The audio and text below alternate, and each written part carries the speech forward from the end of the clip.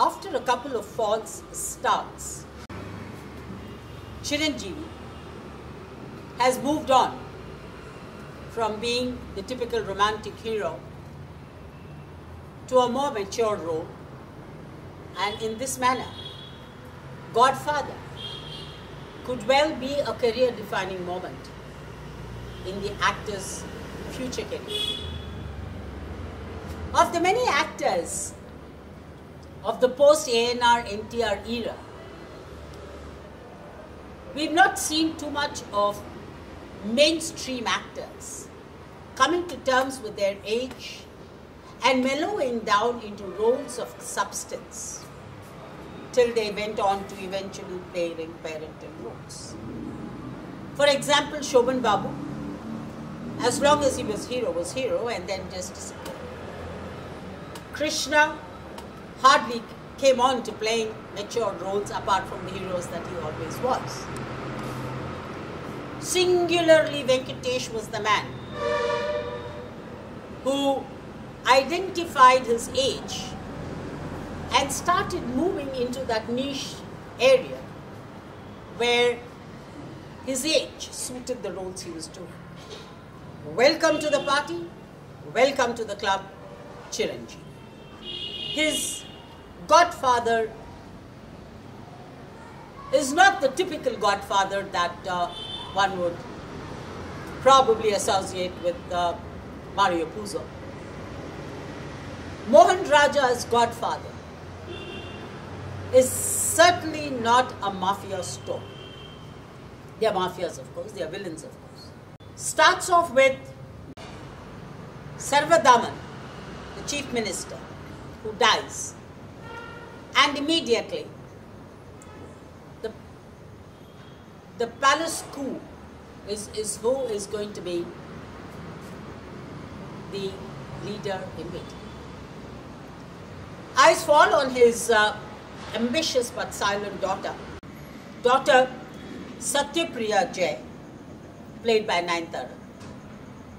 And there is a minister in waiting in Narayan Verma, played by Murali Sharma. Wife, wicked and manipulative. Narayan Verma hopes to become the chief minister. He abets with Jaydev Das, Satyapriya's husband, Satyadev Kancharana. Talk about him later. Soon only to be outplayed by the son-in-law of the deceased chief minister, Jaydev, who has a larger plan of becoming the chief minister himself. There's also a side story of how he abuses his wife's sister, not relevant.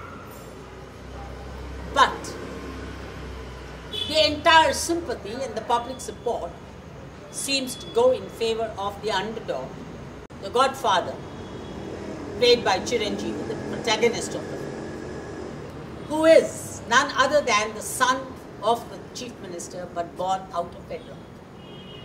From the beginning, there's sibling rivalry between the half brother and the half sister, who share a father but have different mothers.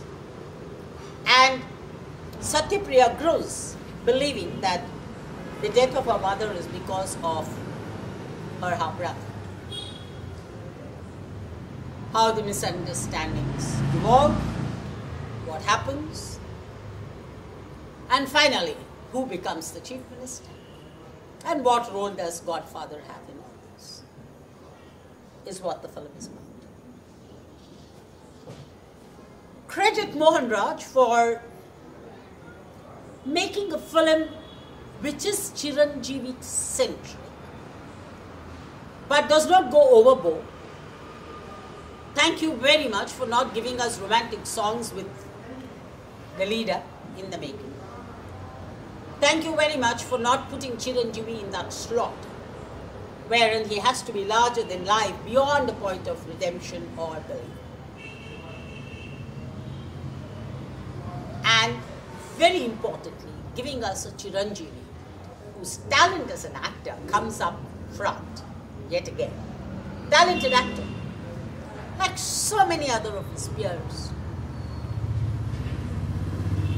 caught up and consumed by stardom.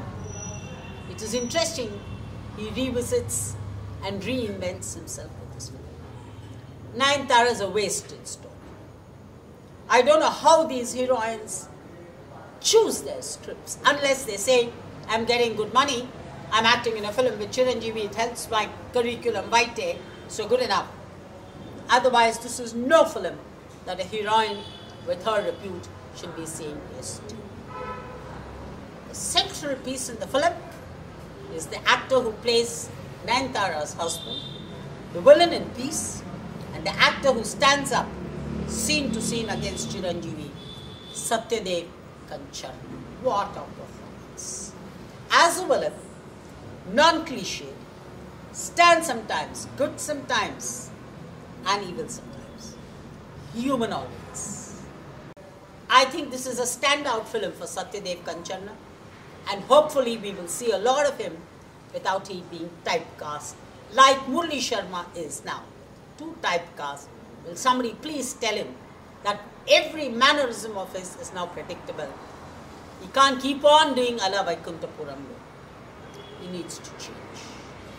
And an actor of his talent will have to do more than just adapt to what the director tells him or what the seeming script requires him.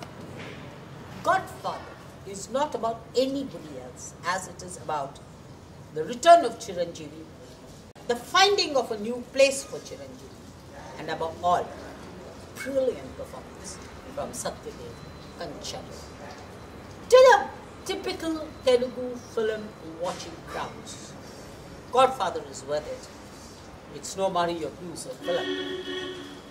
It's not about the Sicilians, Machiavellian stories.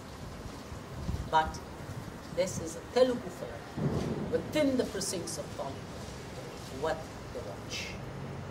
I acknowledge contributions from Abhinav and Datu and with that sign off on Godfather. Good day.